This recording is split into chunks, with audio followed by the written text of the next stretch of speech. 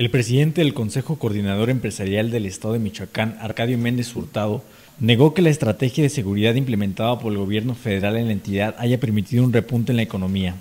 No, al contrario, al contrario, ya en 2013 andábamos mal, sí, 2014 vamos más mal. ¿no? Se han invertido y, se han hecho este, eh, pequeñas eh, eh, clínicas familiares en esa zona eh, eh, han apoyado con algunas eh, mejoras en las carreteras en toda esa zona, pero, pero este, es únicamente ahí donde se nota un poquito el movimiento. ¿no?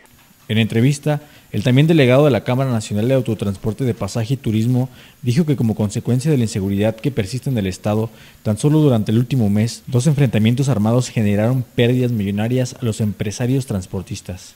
Yo creo que fue como un millón entre todas las empresas, un millón y medio más o menos la pérdida que hubo en estos dos días, ¿sí?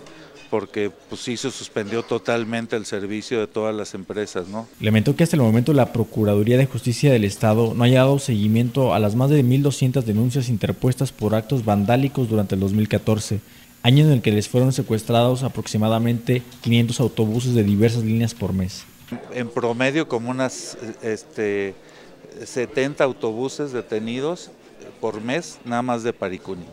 Entonces, si hablamos, son por horas o por días autobuses detenidos, han de ser como 400, 500 cada mes.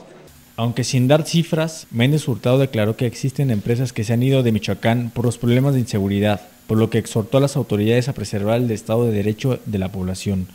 Para Coasar TV, Héctor Moreno,